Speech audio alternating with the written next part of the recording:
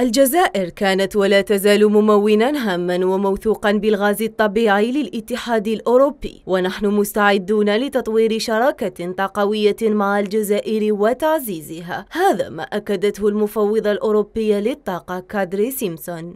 مع حالة عدم الاستقرار التي تعرفها سوق الطاقة في أوروبا من المنطقي أن نلجأ إلى أحد شركائنا الأكثر ثقة والموثوق بهم وهي الجزائر.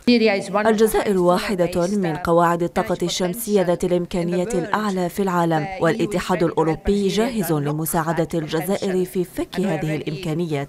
الجزائر بدورها رحبت بالشراكة مع تأكيدات بضرورة رسم آفاق واعدة للشراكة الطاقوية بين الجزائر والاتحاد الأوروبي بشكل جماعي وفي ظل مقاربة شاملة فضلا عن مشاركة الاتحاد الأوروبي في تمويل المشاريع الطاقوية بالجزائر. في جهود كبيرة وتعاون مع الجانب الاتحاد الأوروبي لتطوير السريع للطاقات المتجددة في بلادنا.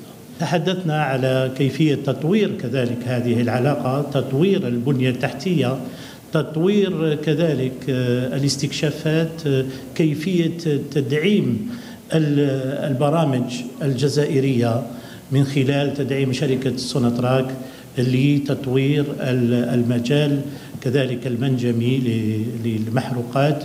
تعزيز وتقييم الحوار مع الشركاء الأوروبيين في جميع الميادين بهدف توطيد التعاون والعمل لبناء شراكة رابح رابح تضمن وتصون مصالح الطرفين.